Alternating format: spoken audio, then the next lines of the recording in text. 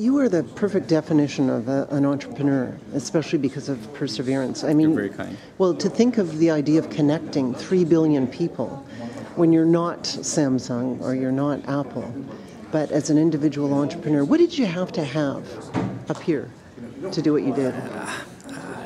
You know, um, long ago it was about trying to understand a point of pain, you know, trying to solve a problem. So the problem wasn't, I'm going to try to solve a problem for 3 billion people. I was just trying to solve a problem, right? And the problem focused on delivering the internet on low bandwidth networks and it focused on affordability, right? And the moment you solve those problems, you discover that this sort of 5 billion cell phone users versus 2 billion internet users is 3 billion person gap. So, uh, you know, this is why I call it the perfect storm, being the right place at the right time.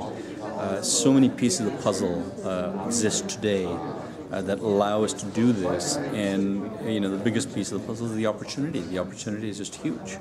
Well, you've already connected hundreds of thousands of people with the world's cheapest tablet. The potential is 3 billion.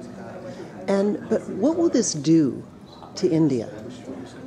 I, I think it'll have a very positive impact in countries like India and elsewhere. Um, I, I, gave the example in my presentation of how my son takes advantage of YouTube uh, to understand concepts that he may not have been able to understand in class.